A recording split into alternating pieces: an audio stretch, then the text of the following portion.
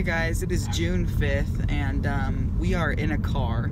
We're in a Ford Focus. That's a nice car too. It's red and it's cool and I feel fancy and I connected my phone. Anyway, that's another point. Um, so we're driving to, um, well, our final destination is Frederick, Maryland because that's where we're going to restart the trail. Uh, we were going to restart in Harper's Ferry, but four miles of the trail is closed there due to uh, water flooding. Yeah. And um, so what we're going to do is we're going to drive to uh, Harper's Ferry, get our tags, because you can get like your uh, halfway point tags kind of there. And then we're going to drive to Frederick, drop the car off, and then start the trail uh, in Maryland, where the nearest start area is. And um, so that's pretty much what we're going to do. And uh, it's going to be fun. We haven't been in a car in like, well, we haven't, mom hasn't driven a car in so long. It's nice to be in a car instead of walking with our feet. Yeah. But uh, yeah, so I have my phone connected via Bluetooth on the um, radio system and stuff, and so I can play music from Spotify, which is pretty cool. And uh, it's gonna be fun. So I'll see you guys later. So basically, we're to skip a section um, to get uh, ahead and be on time before they close uh, Mount Katahdin in October, and then we will finish the section later when we're done with Katahdin. That's basically what's going to happen. It's still considered a AT through hike. Um, it's just done in a different way. So some people um, do northbound until Harper's Ferry and then skip to Katahdin and then walk back to Harper's Ferry that way, like going northbound and then southbound. Some people start at um, Katahdin in Maine and then hike all the way to Georgia. Some people just do a section at a time and skip and this and that. So that's what we have to do to be on time, to make sure we're on time so we're not stressing out and, you know, feeling defeated and stuff like that. So that's what we're going to do. So we're kind of disappointed about doing that because we wanted to just start in um, Springer, Georgia, Springer Mountain, Georgia, and then go all the way to Maine, like all the way through. But um, it's not going to work out that way because we had to start out really slow. You know, me being overweight and out of shape, and none of us backpacking ever in our lives, and just doing light hiking in the past. So we had to get in shape and stuff. But anyway, so yeah, we're on our way to West Virginia. We're excited. We've never been to that part of the country. Um, so we're excited to see it and uh, get back on the trail. You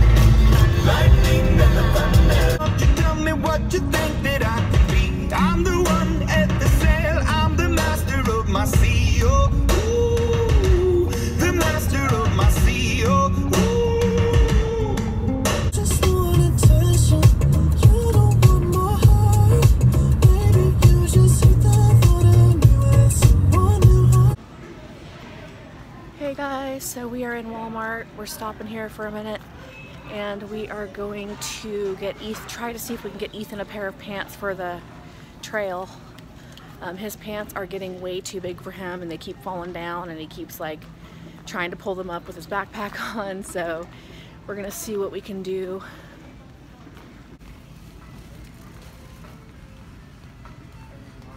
Okay guys, so we found a pair of pants for Ethan. He's a medium size eight now instead of a large because he lost all his soda weight.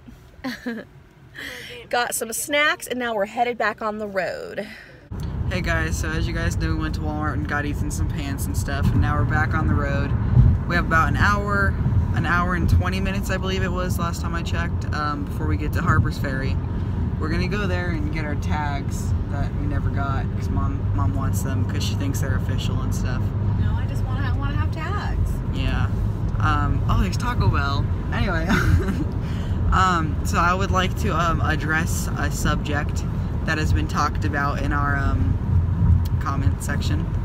Uh, so some people have been saying that mom needs to buy me some sticks, um, some trekking poles, but uh, I have declined that offer many times because I don't I don't like it. I just I just like my stick that I have, you know, my log.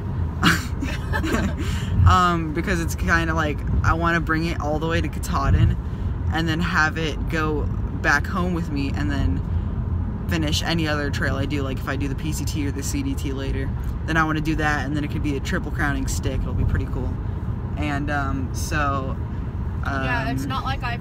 It's not like I'm not buying him sticks Yeah. because I don't want to spend the money. yeah Like, um, I respect like comments. You know, I understand you guys are just like trying to care and stuff, but um, he left his sticks at home. I was going to buy him sticks the next payday, and um, he ended up finding a walking stick in nature Yeah. and he liked it and i was like well let's buy some sticks and he's like no i don't want to buy sticks i like this so that's all he knew on the trail so when you're used to something and you're comfortable with it that's what you want Yeah. so he has had that stick from not day one but pretty much you know Uh, in georgia since Blood Mountain, I think. yeah since blood mountain and since georgia and he wants to he wants it to be like a memento like something to remember the appalachian trail through hike that we're doing Yeah. so it's not like I'm trying to save money and I'm not wanting to spend. Someone said, well, when you lost your shoe, you went and bought yourself shoes. You should have got him sticks. Well, I'm not trying to be rude, but it's not the same scenario at all. Like, you guys don't know what's happening behind the scenes all the time because I we only show like what 20 minutes give or take Yeah, something like that. um, per video. And I, you know, it's okay to ask questions or be concerned and stuff like that. But you know, just try not to assume because, like, I have tried to tell him we need to get you walking um, poles or whatever they're called multiple times, and he has declined. He's 14 years old. I'm not going to force him to do something he's not comfortable with. Um, it's not going to hurt him. It's not going to hurt his growing body. No offense.